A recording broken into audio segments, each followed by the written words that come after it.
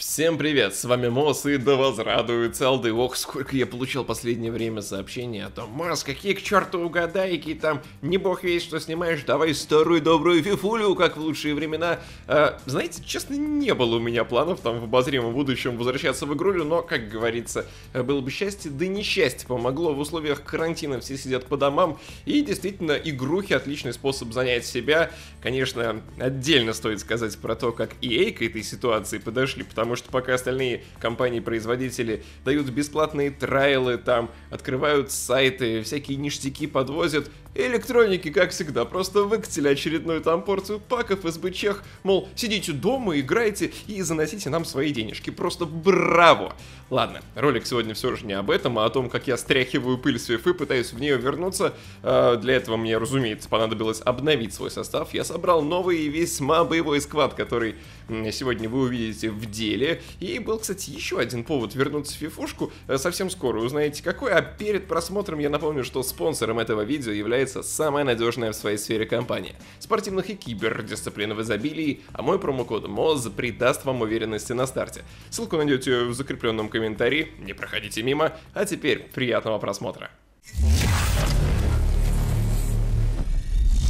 Так, давайте по порядку. Не считая каток Лиги Фиферов, поводу пооткрывать окаянную не было с декабря. Воды не знаю сколько, а вот монет с тех пор утекло знатно. Купленные за шестизначные суммы игроки сейчас уходят за сущее копье, а с появлением орды всевозможных цветных карточек и халявных кумиров, мой основной сквад заметно просел в боеспособности. Миллион припасенных монет в помощь, в срочном порядке нужно улучшаться. Вообще отложить все на потом и сломя голову ломануться в фифушку, меня сподвиг контроллер, да, вот такой новый крутецкий гаджет мне подвезли. Разумеется, я сразу пошел его тестить. И забегая вперед, скажу, что штука тяжелая, удобная, крутецкая. Вот реально видно, что сделано на совесть. Главный ништяк полностью настраиваемый через ком параметры чувствительности стиков и курков. Ход можно сделать подлиннее или покороче, но и кастомизация вообще огонь. В комплекте идут дополнительные цветные кнопки, стики, крестовина и даже боковые панели. Причем если триггеры отвинчиваются отверткой, то другие детали меняются буквально за секунду, ибо на магнитах. Ну а самым заметным профитом уже в игре лично для меня оказались механические клики кнопок. Если у вас была настоящая геймерская клава или крыса, думаю вы понимаете о чем я. Ложные замахи, финты, удары в касание, все тайминги теперь чувствуются в 10 раз лучше.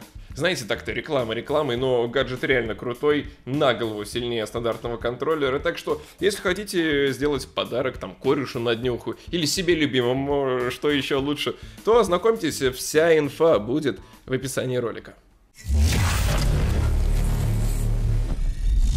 Вернемся к моему обновленному составу. Воротчик все тот же, проверенный сотнями матчей Терштеген. Обычно непродаваемый, но тратиться на цветных смысла нет. Жестче разве что Вандерсар, но там совсем другой порядок цен. В центре обороны дуэт шустрых, пластичных, но одновременно крепких ЦЗ. 86-й Диего Карлос и неповторимый Громила с четверкой на финтах оборотень Кандокбе. Статы у обоих весьма красивые, воркрейты без сюрпризов и топометрия, что доктор прописал. Слева в защите останется останется Тейш ЗВЛ-ку. С тенью бегает исправно, привозит крайне редко и с передачами дружит. Ну а справа вместо обычного Семеду попробуем топовый информ Дани Карвахаля. Сдается мне, что эту карточку комьюнити и рынок малец недооценивают. В качестве пары бокс-то-боксов или в зависимости от схемы опорников выступит СБЧшные Паулиньо и Видаль. Бразилец, на мой взгляд, вообще топище. И в обороне отрабатывает, и в атаке не портачит. Рождественский Видаль чуть более громоздкий, но если есть чутка лишнего золотишка фишка или непродаваемого хайрейта, можно собрать его флешбэк СБЧ, за который получите воистину топовую карточку уровня прайм кумиров.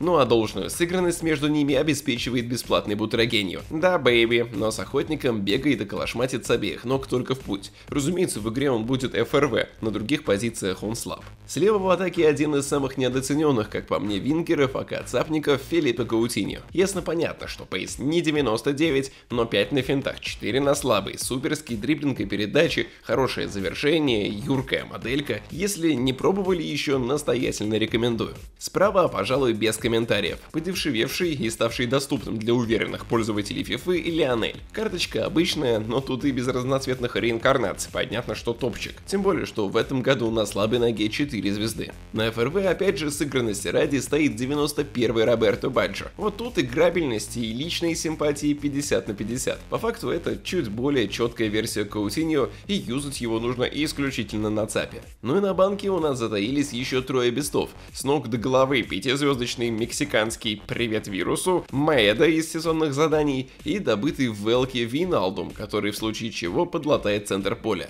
Стоит все про все, если вычесть стоимость бутры 2,5 миллиона монет. Расстановка в игре будет либо узкая 4-2-3-1, либо атакующая 4-3-3. Под этот сквад они обе годятся. Айда проверять боеспособность в Rivals, а потом посмотрим, как состав можно улучшить. Дружище, не забудь про закрепленный комментарий и мой промокод МОЗ, по которому ты получишь крутецкий бонус.